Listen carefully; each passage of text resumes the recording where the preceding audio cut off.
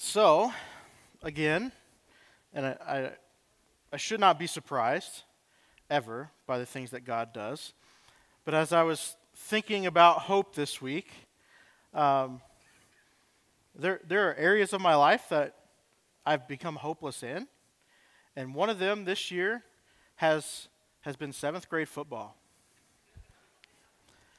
And yesterday, they came through with the first win of the season in, against Sidney, which is awesome, right? But that, but God confirmed to me that even the little things that I'm like, we just haven't put it all together in one game. And God said, Well, you're speaking about hope this week. Let me give you a little bit of hope. And um, yeah, it was, it was good. And so, whatever small areas of your life that you think, oh, God doesn't care about that, um, He does. And he, he wants to speak to you in every moment of every day of your life. And if you allow Him to, and you allow Him to, to give you a glimpse of His heart in everything that you do, you'll begin to be able to have hope even when the world around us says that it doesn't make sense. So even seventh grade football players can give you hope, which if that's not encouraging, I don't know what is, right? Sorry about that, Noah. I know you're up there. Oh, love that kid. All right. So, uncommon hope. Again, as as we look at what hope is in terms of what we define it uh, here on earth and what God says hope is, we're going to see that it's completely different. Um, first, let's look at what what hope in terms of uh, what the world defines hope as. Uh, in the dictionary, it says hope is a feeling of expectation and desire for a certain thing to happen, a feeling of trust. Or you might say that your hope is in a certain outcome. Okay, that's what uh, Webster says hope is. But the Bible says that hope is something completely different. Uh, hope is confident of what God has promised and its strength in his faithfulness. Much different than what the world tells me hope is. Hope, in, in terms of our world, says that I'm hoping I can only have hope if the outcome I want to happen happens. That if God meets my need in this way, then I can have hope. That if I pray in expectation of this, then the expectation is that it will happen the way I prayed for. But uncommon hope is not in a result or an, an outcome. Uncommon hope is in a person, that of God, not of something we hope to happen an outcome we, we expect to receive. So maybe there's been a time when you've been praying for something specifically. Maybe it's a, a family member uh, that you're hoping that comes to Christ. Uh, maybe it's a promotion. Uh, but for whatever it is, you've been praying for something specifically. And maybe God didn't answer that prayer exactly the way you had prayed for. And you begin to see your hope start to dissipate and just fade because your hope was not in God Himself, your hope was in an outcome, something you were hoping to receive. And so our hope begins to waver when we don't get what we thought we were going to get. But our hope, in, in a common way, is supposed to be in Christ. And we're going to look at that this morning. Uh, so, just as uh, we move through this, let's, let's look at hope's source. And we're going to look at a few passages this morning that talk about where we can get our source of hope. The first one we're going to see is, is Lamentations chapter 3. So if you have your Bible, you can turn to Lamentations chapter 3, uh, starting verse 16. Now, when I was preparing for this, I didn't just pick uh, the most obscure passages about hope and like this isn't a sword drill where first one stand up and read it. Uh, there's no prize for that, but um, it, it's interesting to me how, how God speaks in ways that we, we don't anticipate and using the book of Lamentations, which, if I can be honest this morning, is not a book that I've spent a lot of study on. In the last two weeks, God says, let's look at the book of Lamentations a little bit. So we've been camped out there the last two weeks. Um, but we're going to look at chapter 3 this morning, 16 through 24, and this is what it says. He has made my teeth grind on gravel and made me cower in ashes. My soul is bereft of peace. I have forgotten what happiness is, so I say, My endurance has perished.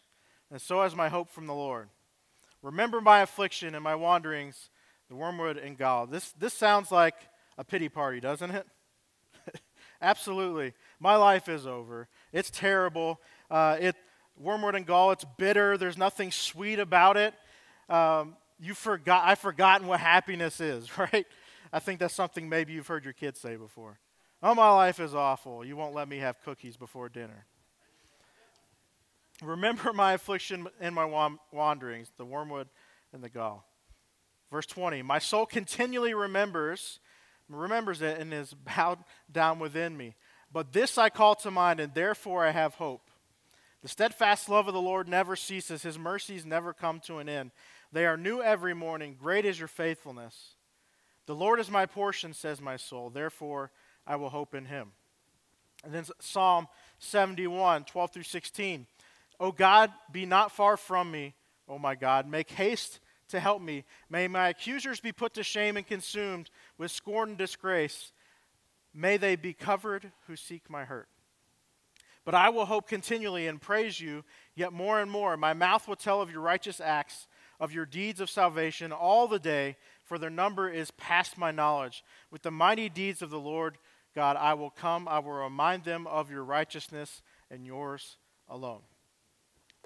So, if there's anything that we learn from these two passages, is that the source of hope has nothing to do with this earth.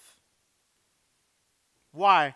Because the author of Lamentations and David in Psalms is saying, listen, the world around you is complete chaos. If you're searching for hope in the world around you, you will be disappointed every single time. If your source of hope is in government, if your source of hope is in your finances, if your source of hope is in the election in November, you will be disappointed. If the source of your hope is not in God, then life will always disappoint you. Why? Because the world around us is in utter chaos. The world around us wants to destroy us. They, they, are enemies of God and they want nothing to do with God. And so, if your hope is in the world, you will be disappointed. And if anything can be confirmed by these two passages, it is that. So let's just camp here for a moment this morning. I'm sure there's many of us that, even without us really knowing, have put hope in something other than God. Maybe it's, it's, it's hope in this year's crop that if it yields what I have planted, then, then we'll be fine this fall and we'll be fine this winter.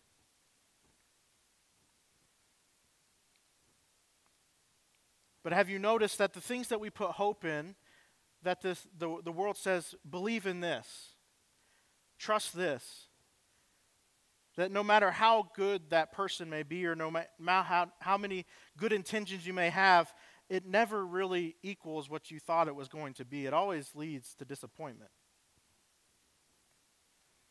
And so, if our hope is not founded in Christ, then nothing will ever be enough. Let me just remind you of the de- definition of hope that we looked at earlier. The definition says that my hope is in a certain outcome.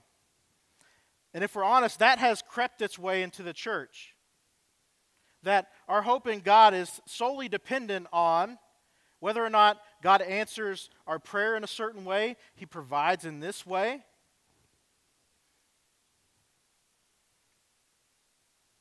And so we have this outcome that we're expecting from God, and it's crept into our lives, whether we want to admit it or not and we find ourselves disappointed when it doesn't happen the way that we had hoped. Let me share an example with you of how this practically played out in my family's life. So, I've shared several times about our story as a family. I will make it through it. All right. And so, uh, Joss and I have been married 10 years in, in August, and we have unsuccessfully been able to have children. And so it's not that we haven't prayed for that, we haven't, uh, you know, sought counsel and, and, and all, of, all the things that, you know, Christians tell you to do. Um, we've been prayed for. We've done all the right things as, as you would define right. But we began to realize that our hope shouldn't be in this, this promise of a child. Because if the, if, the, if the hope is in the receiving of the gift and not in God, then we've missed it. I can only say that because that was this been 10 years into this journey, not it's, it was difficult in the moment to realize that. However, this, this, the prayers that we had, if, if we gotten what we received, we would have never had Levi.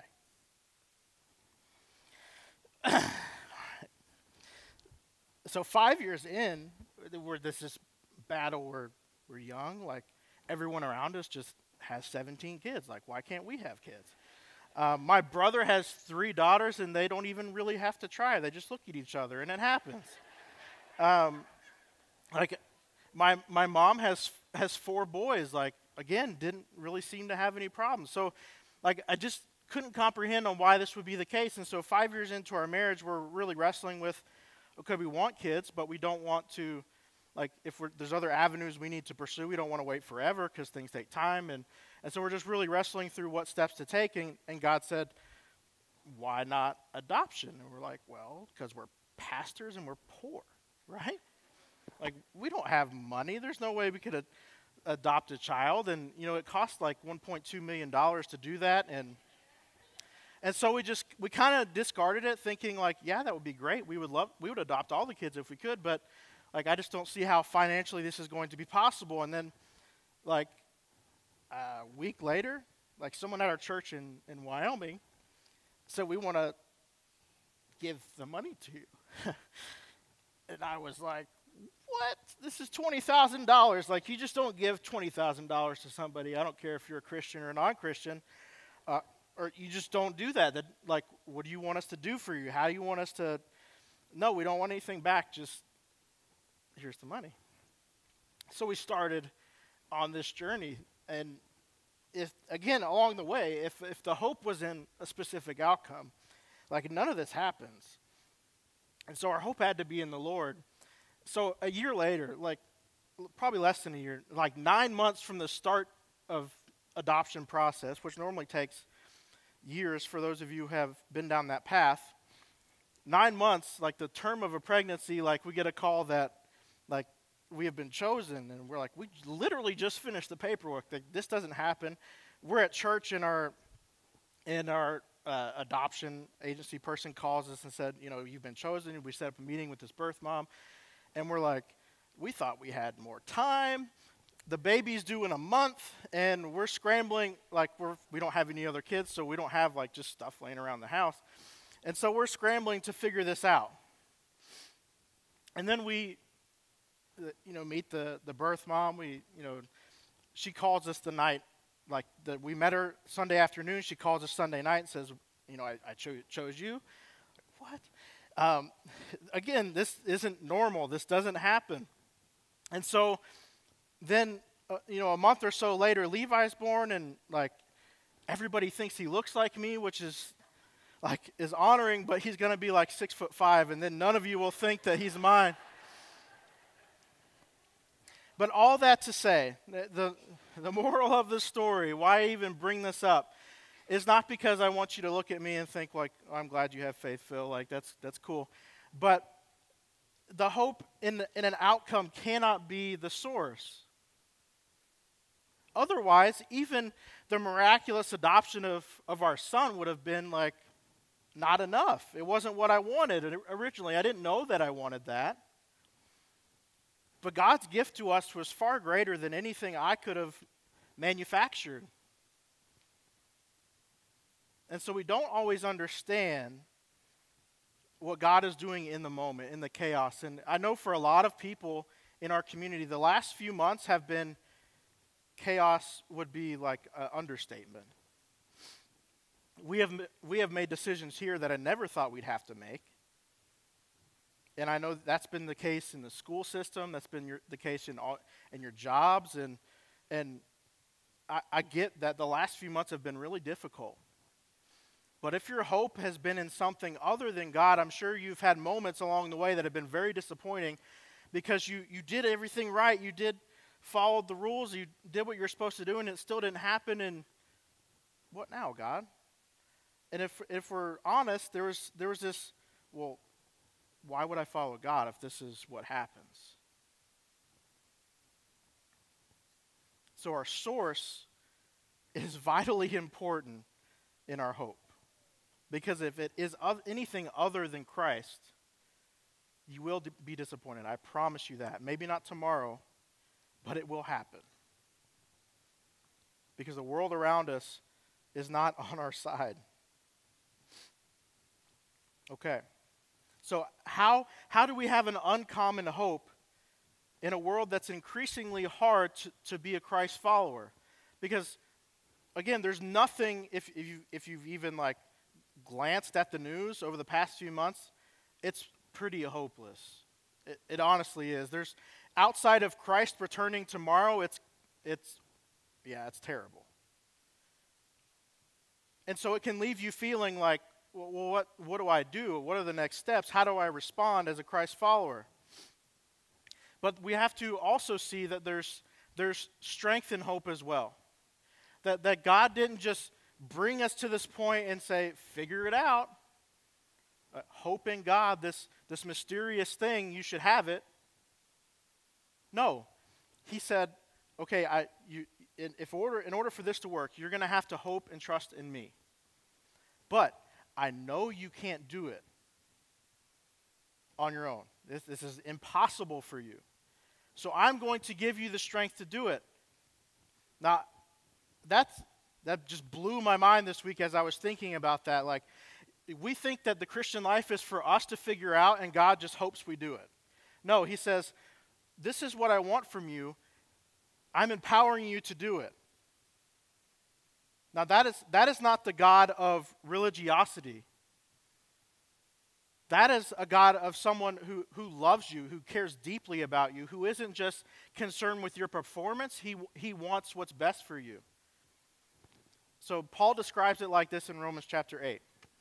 He says, Remember, we kind of had a background of, of Romans last week. There's this turmoil between Jews and Gentiles. One brings their religiosity back to the, to the table and says, Wait, you're worshiping God in a way that we don't agree with. And they're like, Well, we've been doing this without you for years, so get out of here. And there's just this tension uh, racially and just how they worship amongst the people in Rome, the Roman church. And Paul is talking about how we should treat each other as Christians, even in a hostile world. And he says, For I consider that the sufferings of this present time are not worth comparing with the glory that is to be revealed to us. For the creation waits with eager longing for the revealing of the sons of God. For the creation was subject to futility, not willingly, but because of him who subjected him, who, who subjected it, in hope that the creation itself would be set free from its bondage to corruption and ob- obtain the freedom of the glory of the children of God. For we know that the whole creation has been groaning together in the pains of childbirth until now. And not only the creation, but we ourselves who have the first fruits of the Spirit groan inwardly as we eagerly as we wait eagerly for the adoption of sons, the redemption of our bodies. For it is in this hope we are saved. Now hope is is seen and not is not hope that is seen is not hope. For one who hopes for what he sees. But if we hope for what we do not see, we wait for it with patience. Likewise, the Spirit helps us in our weakness, for we do not know what to pray for as we ought, but the Spirit Himself intercedes for us with groanings too deep for words. And He who searches our hearts knows what is the mind of the Spirit, because the Spirit intercedes for the saints according to the will of God. Okay, so what does all that mean? The question is where do we find strength to hope? Because it's not always easy to have hope. It's not always easy to be a person of hope. So, where does the strength come from? The strength comes from the Holy Spirit who God sent to us on his behalf. What does it say? It says that the Spirit intercedes on our behalf, that it is when we do not know what we need or want, He, he intercedes for us. He takes care of it. He helps us along the way. So when life feels hopeless, God Himself gives us reason to have hope. Listen, I know you don't know what's going on in your life, but let me help you out. Let me, let me give you reasons to hope. Let me show you the way to go. Let me guide you. Like, I know you can't figure it out. I know you can't see five minutes from now, but let me help guide you along the way. Some would say, especially in our world, that, that hope is a sign of weakness, that, that because you, have, you can't do anything about your life, you just have this mystical hope about your life that maybe things will work out, that the weak ones are ones who believe in something they cannot see. It's because you cannot reason it to death. You cannot physically understand it. So the, the weak minded people, they have hope. But what does Scripture say? Scripture says that there's strength in hope. That God's strength is made perfect in our weakness. And so even when we don't know what to do, the Spirit prompts us, He, he gives us instruction. This is the steps you should take. This is what you should think. And re- starts to bring things to our mind that we, we didn't know were in there.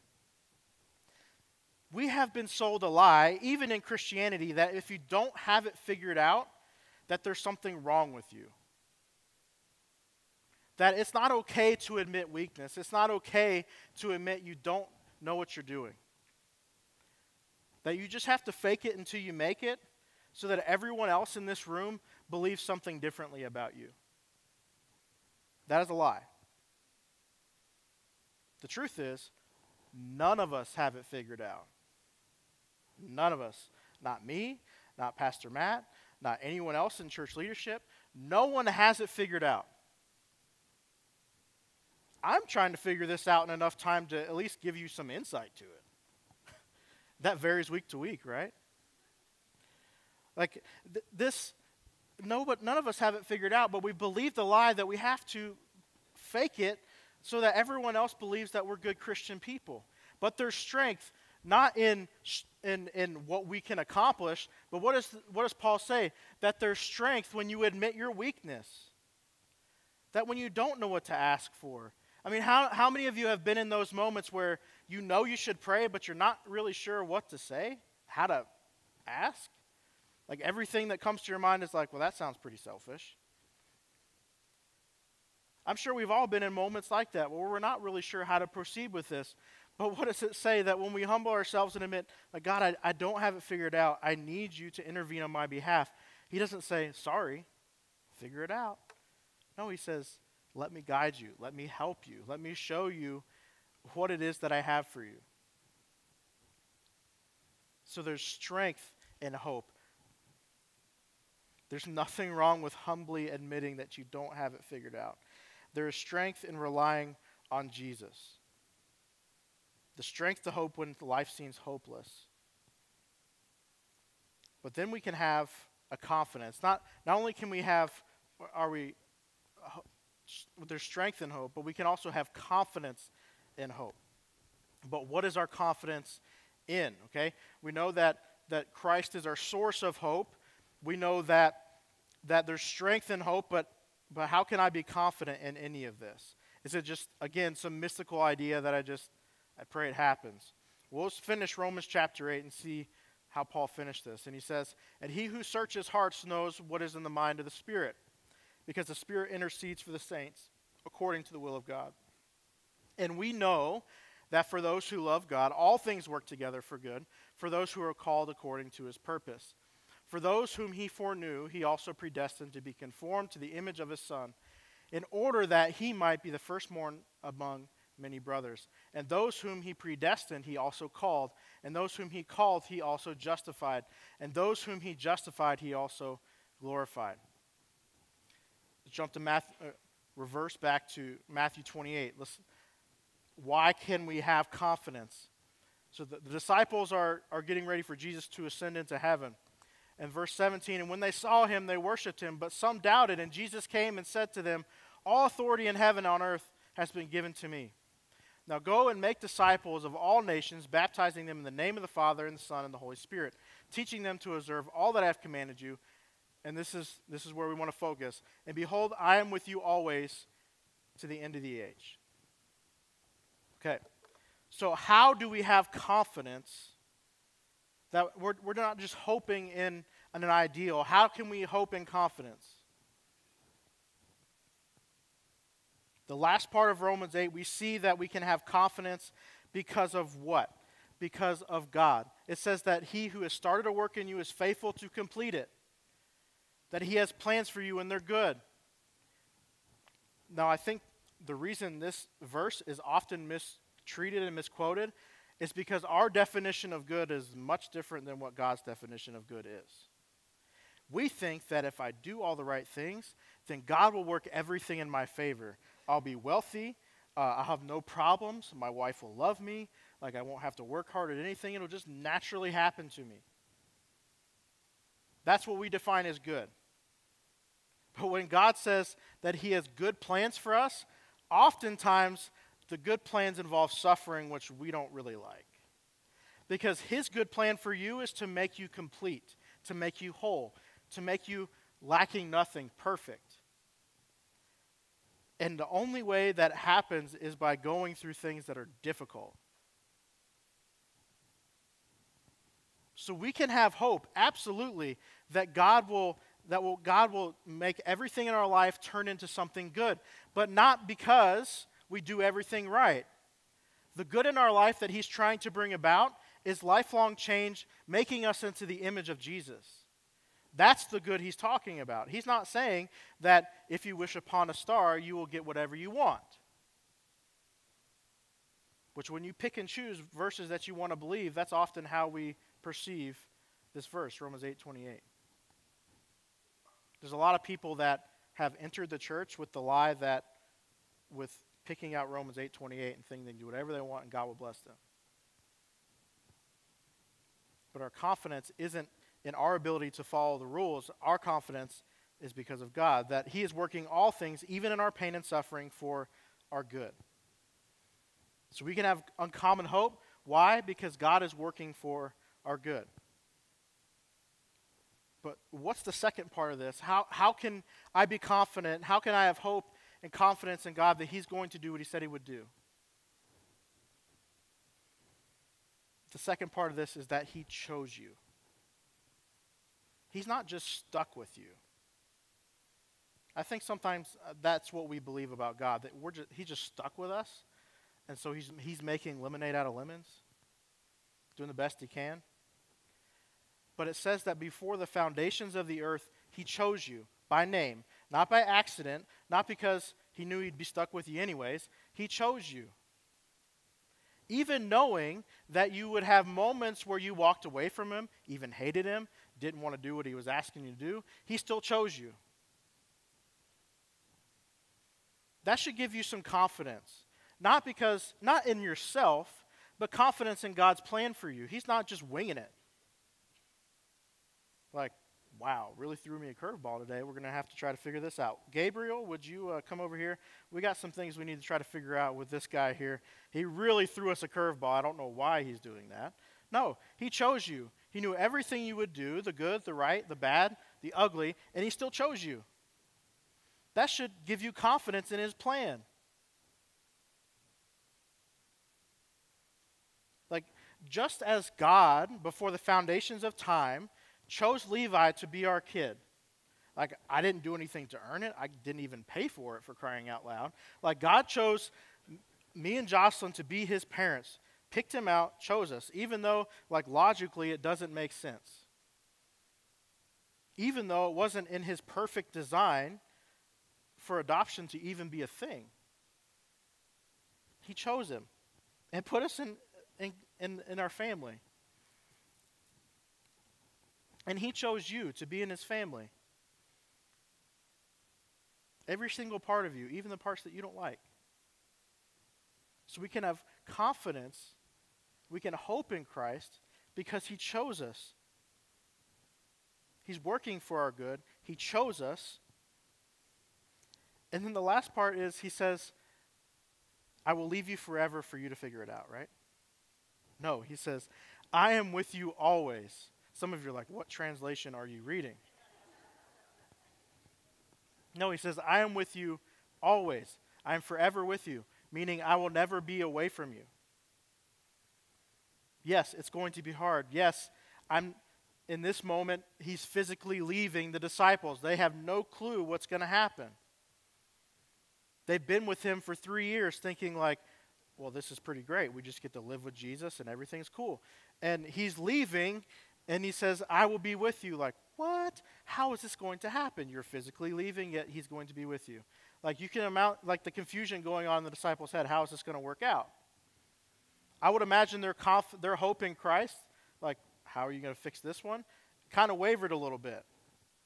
Like, then he says, now I want you to do this, this, this, this, and this. And then by the time you finish all those tasks, I'll be ready for you. And what he says? He says to wait. Like we talked about patience last week, just waiting on the Lord. He says, Go wait, and you'll know when the right time is. Okay, so it, it, what it says to me is this, this has nothing to do with me. That, that my confidence in Him being with me always is, is not if I measure up or if I do everything correctly or if I somehow magically make it through a day and you know only sin three or four times. Like that's not what my confidence is, is in. It's, it's not in my ability to follow anything.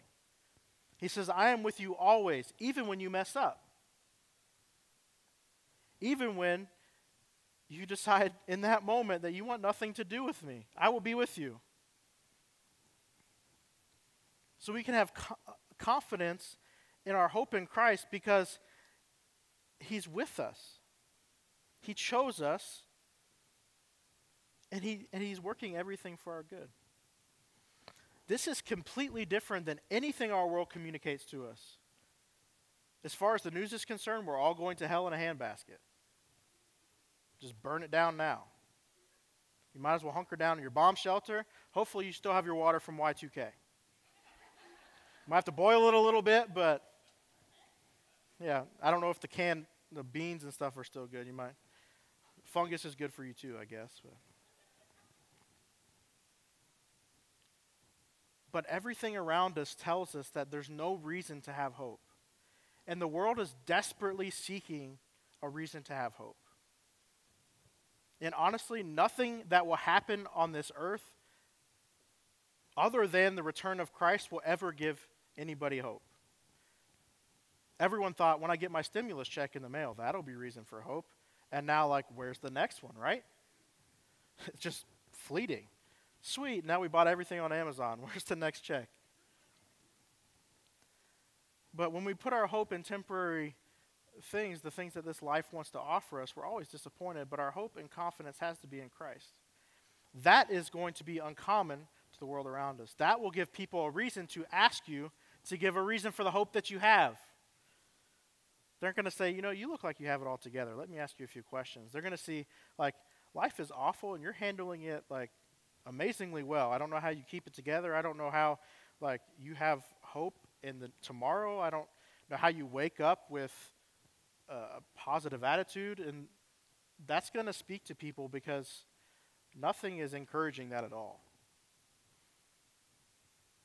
Now, this doesn't mean that life isn't hard. It doesn't mean that everything just works out the way you hoped it worked out.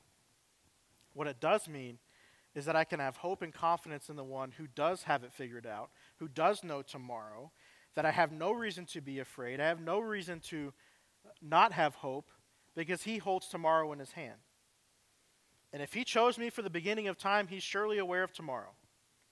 And if he chose me thousands and thousands of years ago, then he absolutely knows what's going to happen in November.